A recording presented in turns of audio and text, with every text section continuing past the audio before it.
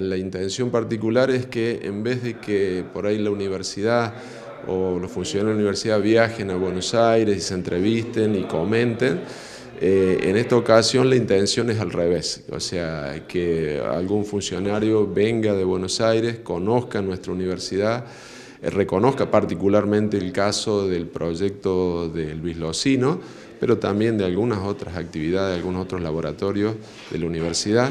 eh, entendiendo que no es lo mismo esta visualización de las actividades, de las acciones que se hacen en la universidad, comentadas en el caso cuando viajamos a Buenos Aires que en el caso de que ellos vengan acá y puedan observar a nuestra universidad.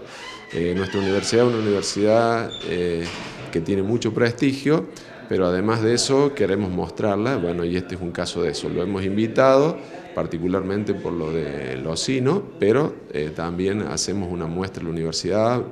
visitando algunos de los laboratorios que, que tenemos. ¿Cuáles son las instalaciones que van a recorrer a continuación, ahora posterior de esta reunión? Iremos a algunos laboratorios de agronomía veterinaria ahora por la mañana y a la tarde visitaremos laboratorios de eh, ciencias exactas y de ingeniería. Este caudal de información que de alguna manera se proporciona en esta reunión, ¿cómo lo puede capitalizar nuestra universidad a futuro?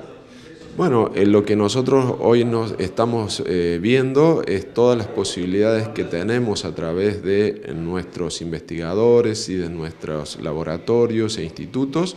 en vinculación con la posibilidad de los proyectos y la apertura de proyectos que se tienen desde la agencia y desde la Secretaría